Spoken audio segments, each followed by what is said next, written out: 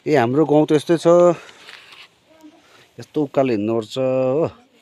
अन्त हाम्रो बेनाजी।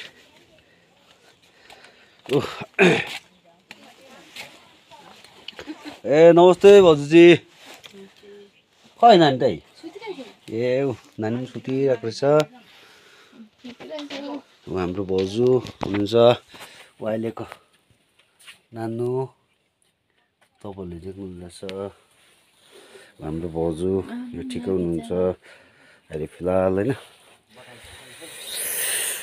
अन्त यस्तो डरलाग्दो गरम चाहिँ यहाँ जग्गाले पुरा सागहरू लाग्छ कमान बस्तीमा त्यस्तै छ है जिन्दगी। कमान बस्तीमा त्यस्तै हुन्छ। हजुर। ऊ हाम्रो ऊ आपा माथि जाँदैछ। कामको लागि चिया सियाहरू अब दिने हो सबैको लागि। अन्त ठिकै छ है। बेनाजी? हजुर ठिकै छ। खम्बरको आशीर्वादले गर्दा के गर्नु यस्तै छ। अहिले है?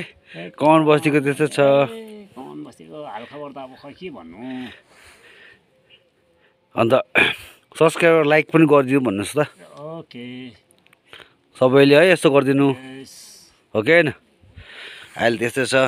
जिन्दगी घाम लागिरहेछ। आज स्याटरडे त्यस्तै छ। शिवरात्रि पनि पऱ्यो